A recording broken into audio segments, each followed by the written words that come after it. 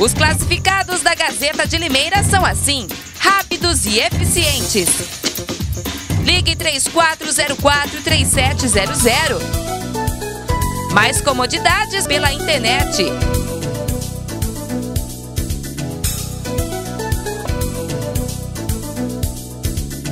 O Independente voltou de Taubaté com um ponto na bagagem, mas novamente poderia ter trazido a vitória pelas oportunidades criadas. Os times sofreram com o forte calor de quase 38 graus. Como de praxe nesta Série A3, o Galo começou mandando na partida, com toques envolventes. No chute de Luciano Henrique, defesa tranquila de Jason. O time da casa explorava o apoio de seus laterais, como nesse chute de Renan. No levantamento de Alisson, Anderson bate cruzado e Santos espalma.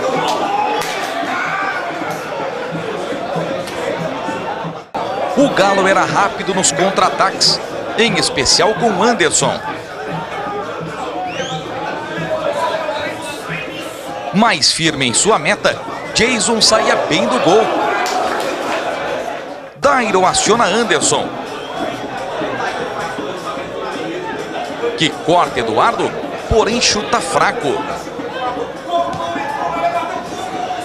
Agora é Cleitinho que arrisca de longe, por cima do gol.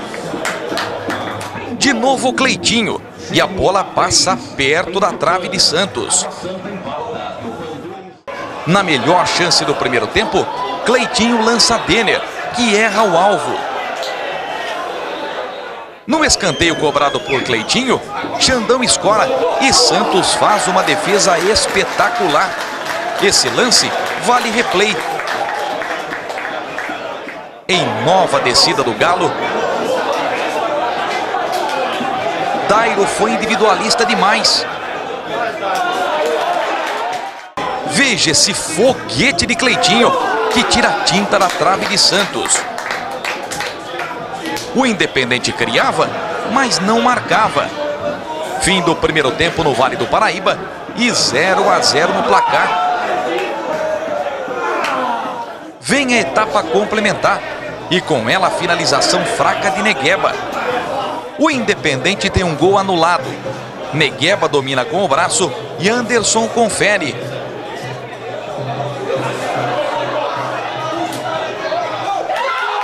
Veja de novo.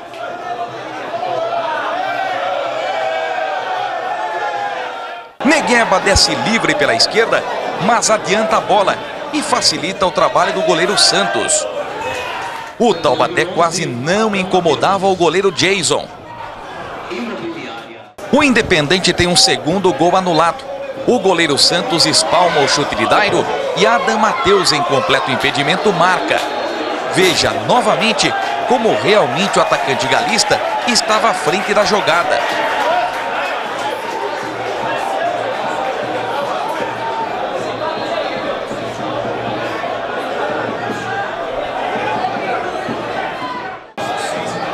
No pique de Dairo, o artilheiro galista pega mal na bola.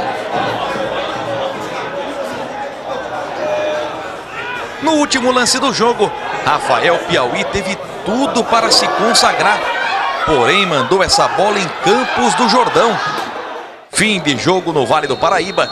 Taubaté 0, Independente 0.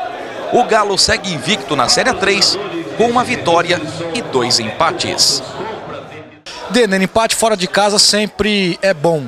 Qual adversário foi mais difícil para o Galo? Gramado, sol, o árbitro ou o time do Taubaté? Acho que, acho que todo jogo em si é difícil, né? Nós sabia a dificuldade que ia ser aqui contra o Taubaté fora de casa. O calor que estava muito grande. O campo também que não estava muito bom, não ajudou muito. E o time deles, né, jogando em casa, uh, bus tentando buscar a vitória, mas nós viemos aqui com, com, com o intuito de, de conseguir os três pontos. Não conseguimos, uh, mas acho que, que valeu a pena. Acho que valeu esse um ponto fora de casa. Acho que agora é brigar para buscar os três pontos em casa. Você foi eleito um dos melhores em campo hoje pela equipe educadora Gazeta de Limeira. Reconhecimento de um trabalho, né? Acho que sim, né? acho que procuro trabalhar dia a dia no, com meus colegas também.